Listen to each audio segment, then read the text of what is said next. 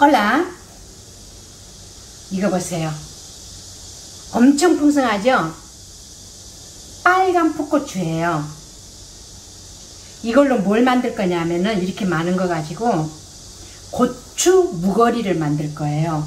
옛날에 엄마들 보면 절구통에다가 이 풋고추를 넣고 마늘 넣고 이게 절구통으로 막 갈아가지고 이 김치 양념을 만들었는데 원리가 그거거든요. 저는 이거를 저희 시어머니한테 배웠어요.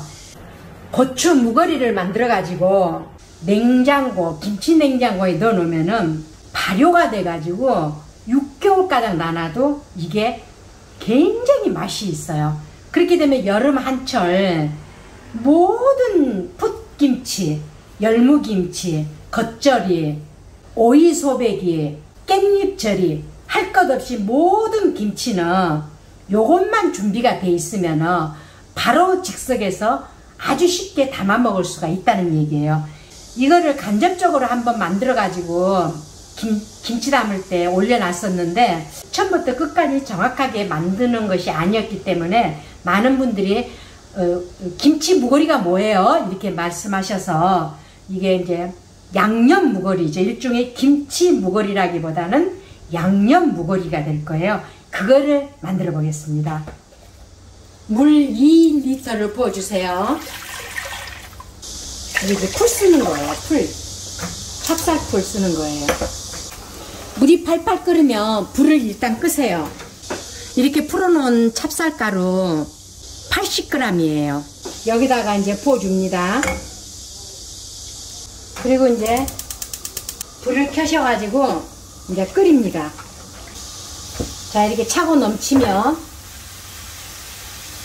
오케이 불을 딱 꺼주시면 더 이상 안 넘칩니다. 이래가지고 이제 식혀주세요. 베이킹소다예요. 베이킹소다를 넣고 씻어줍니다.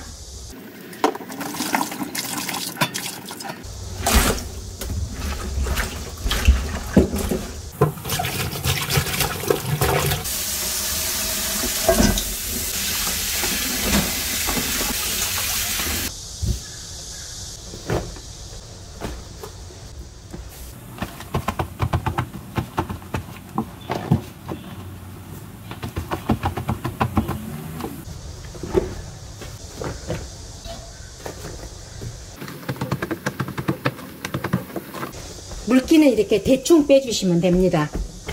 그리고 이제 이거 씨를 다 빼야 되거든요. 이 씨를 다 빼야 되는데 가위로 자르셔도 되고 칼로 자르셔도 되는데 저는 가위보다는 이 칼로 하는 게 더 쉽더라고요.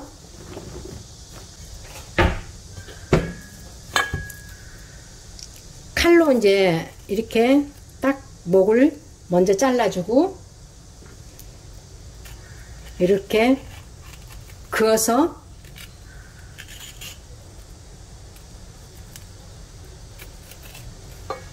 이렇게 이렇게 하는 게 굉장히 쉽더라고요.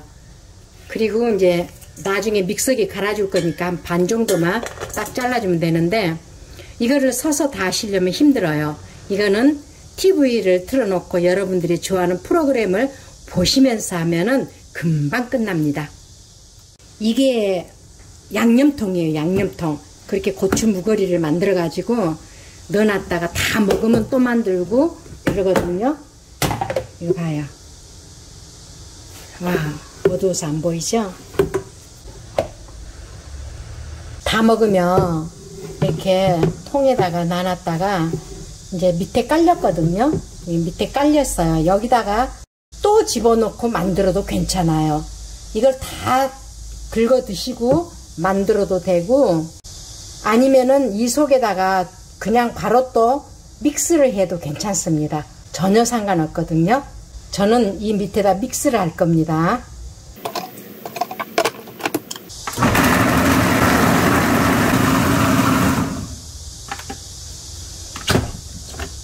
너무너무 곱게 가르시면 안 되고요.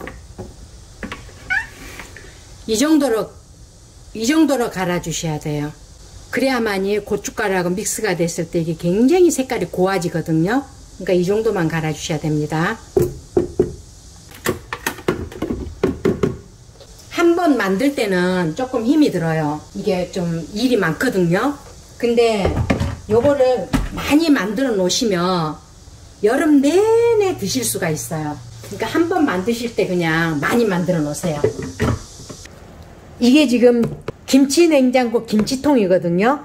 이 김치 냉장고 김치통에다가 빨간 풋고추 가른 거 1kg가 이게 들어갔습니다. 이 속에. 그리고 나서 여기다 이제 뭐를 넣어주냐면 이제 김치 담는 것과 똑같아요. 풀 써놓은 거 우선 여기다가 500ml 500ml 넣어주시고 적국도 적국도 500ml를 넣어주시고 고춧가루 500g이에요. 고춧가루 500g을 넣어주시고 이거는 어, 기준이 이제 여러분들이 조금 할 때는 조금 정확하게 뭐 고춧가루가 몇 그램 어, 적국이 몇 그램 그 기준은 없습니다 원래 본인들이 간을 보면서 맞춰가면서 하잖아요 김치는 근데 이제 여러분들 쉬우시라고 만들 때 좀 쉬우라고 제가 이렇게 몇 그램 기준을 말해주는 거예요. 마늘을 좀 많이 넣어주세요. 이게 바로 식혀가지고 다 곰삭을 거니까 마늘을 많이 넣어주세요. 그럼 맛있어요.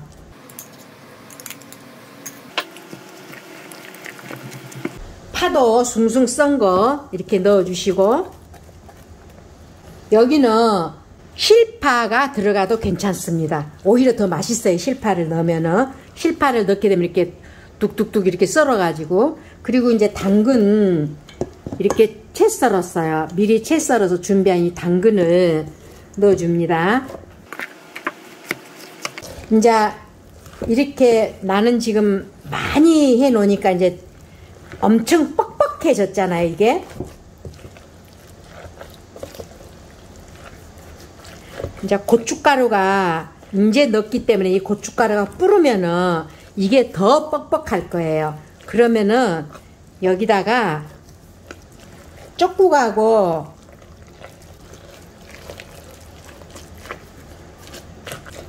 쪽국하고 풀하고를 좀 더 넣어주시면 되는 거예요.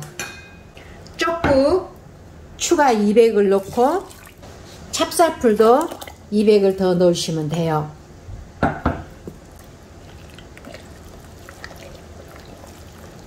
그러면은 이렇게 이제 농도가 아주 좋게 되지요. 이렇게 해놓으면은 여름 내내 이게 발효가 돼가지고 여름 내내 여러분들 금방금방 아무거나 무쳐 먹을 수가 있어요. 고춧가루에 따라서 더 돼질 수가 있거든요. 그러면은 계속해서 농도를 보시고 적국과 찹쌀풀을 똑같이 부어줍니다. 저 같은 경우는 고춧가루 500g에 찹쌀풀 1리터, 적국 1리터 하면은 기준이 딱 맞더라고요. 설탕은 여러분들 취향대로 넣으시면 됩니다. 설탕은 저는 설탕을 이게 용량이 굉장히 많은 거거든요. 이 설탕을 저는 이 밥스푼으로 딱 3개만 넣어줄 거예요. 이게 이제 고추 무거리를 만드는 거예요. 양념 무거리. 김치 양념 무거리.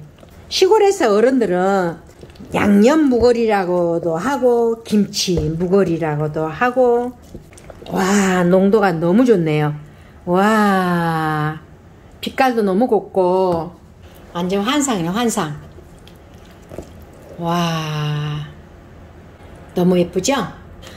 여기다가 지금 통깨는 넣지 마시고 통깨는 이제 그때그때 무쳐 드실 때 그때 거기다 통깨를 넣으시면 돼요. 지금 여기다 통깨 넣어놔봐요. 소용없어요. 어디로 다 도망가고 하나도 안 보이거든요. 자 이제 여기서 이제 간을 보시면서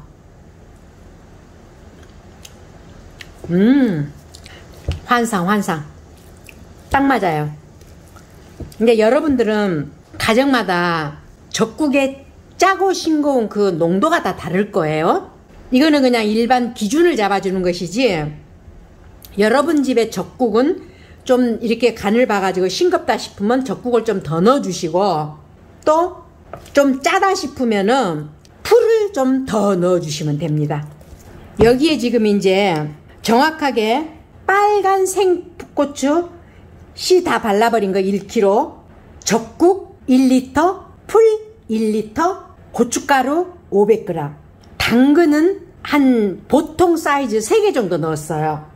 그리고 파마늘, 그리고 설탕은 밥숟갈로 3개 정도 넣었습니다. 이제 다 됐습니다. 이렇게 해서